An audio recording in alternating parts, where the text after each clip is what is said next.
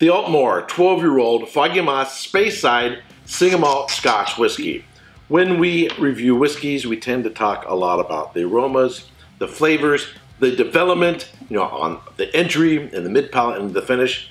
But there is a characteristic about this whiskey that really makes it stand out, I think, from a lot of its peers. And I'll tell you what it is after I tell you about the history of Aultmore Distillery and the profile of this whiskey.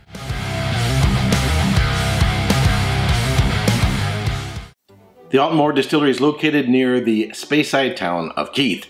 The name is derived from Alt Moor, the water source for the distillery, and this translates as Big Burn from the Gaelic. The area where the distillery was built is known as Foggie Moss due to the boggy terrain and regular mist that is created by the microclimate. In 1895, the Aultmore Distillery was founded by Alexander Edward Aultmore, who was then owner of the Benrinnes Distillery. In 1899, the distillery was owned by the Pattisons, which went bankrupt in that year. Production plummeted and the distillery was closed. In 1904, Aultmore Distillery was reopened. In 1917, Aultmore Distillery was closed again during World War I due to barley shortages. In 1923, after World War I, Aultmore was sold to John Dewar and Sons. In 1925, Aultmore Distillery was bought by the Distillers Company Limited. In 1930, Aultmore Distillery was bought by Scottish Malt Distillers. In 1968, Aultmore Distillery's malting floors were closed. In 1970, Aultmore Distillery was rebuilt and expanded. A new spirit still and wash still were placed in addition to the two stills that were already present. In 1971, Aultmore Distillery was reopened. In 1998, Aultmore Distillery was sold back to Bacardi subsidiary Dewar's, which had previously owned Aultmore between 1923 and 1925. In 2004, Aultmore Distillery produced their first official bottling, a 12-year-old, after an earlier Flora and Fauna release and an earlier Rare Malt release. The Aultmore 12-year-old Foggie Moss Highland Single Malt Scotch Whiskey was aged for 12 years in ex-bourbon cask. It's natural color, it's non-chill filtered, it's bottled at 46% alcohol by volume, and sells for about $73. Man, this is a whiskey on the nose. I, you could spend days on it. But before I get into that, first I want to tell you something that is really cool. They put a seal on the bottle like other distilleries do, but they also put a label on here with a numbering on it that lets you know that when you open this up, you break that seal and you cut through that tape, that you are getting a whiskey that came from the distillery um, fakes in the industry is a growing problem.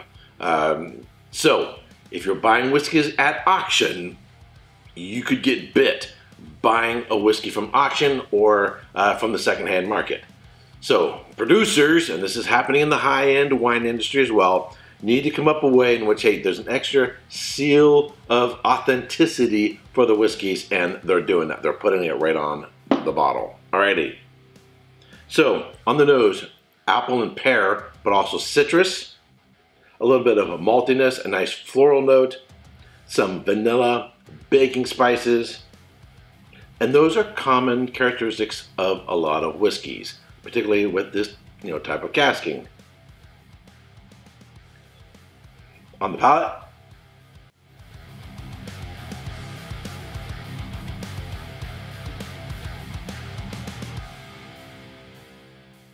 It really has a lot going on there in the range.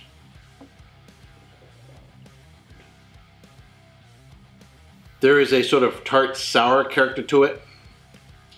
There is just a hint of bitterness, sort of like the way the peel of a fruit. Like if you eat a, an apple and you just pay attention to biting into the skin of an apple or a peach or something like that. It has like that sort of um, bitter fruit character of, of uh, a fruit peel. And then there is a creamy character to it. So it's got sweetness, it's got floral notes, it's got just a hint of bitterness, a little bit of a tartness there, and it's both got the sweet and sour going on there. I really, really, really like that.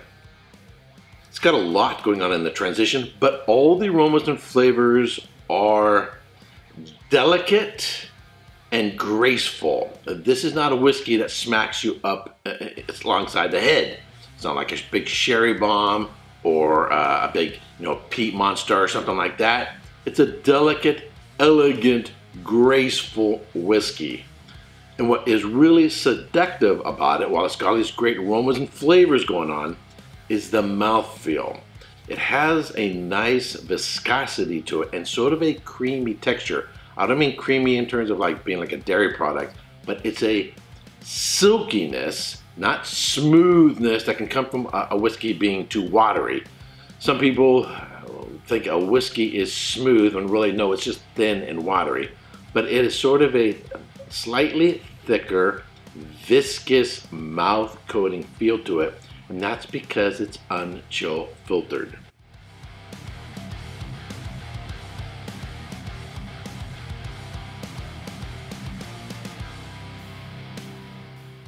And it has all these elements to it that have a counterbalance. Sweet and sour. Sort of a, and some people might take bitter as a, as a bad note. It's not.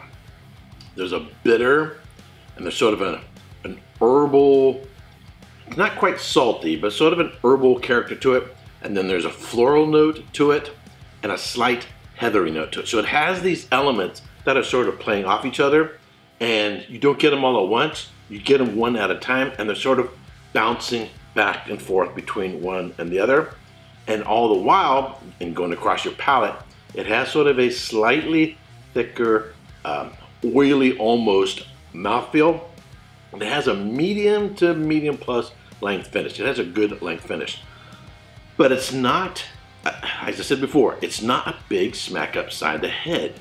This is a whiskey in which it's sort of needs you to pay attention to it to notice all the nuances and differences uh, in the flavor. It is really, really, really well done, uh, well, uh, well crafted uh, whiskey. This is a really, really nice whiskey. Uh, I'm to give it a solid 90 points.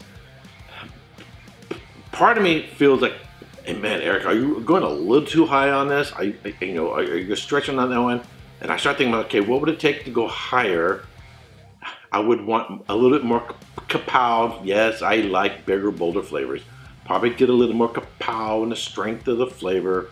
Um, or maybe a little bit more um, depth of flavor in the in the mouthfeel, right? So that keeps me going from uh, above 90, but it, what gets me to 90 is the counterbalance uh, in, in the in the flavors and the sort of um, almost like a seductive mouthfeel to it. It's just a really, really, really uh, fantastic whiskey. Alrighty, uh, that's it for this review. If you like watching my videos, you're not yet subscribed, subscribe and ring the bell uh, to be notified when I go live or uh, post a new video. And until next time, Slainte Hey, don't forget to subscribe and check out these other whiskey videos.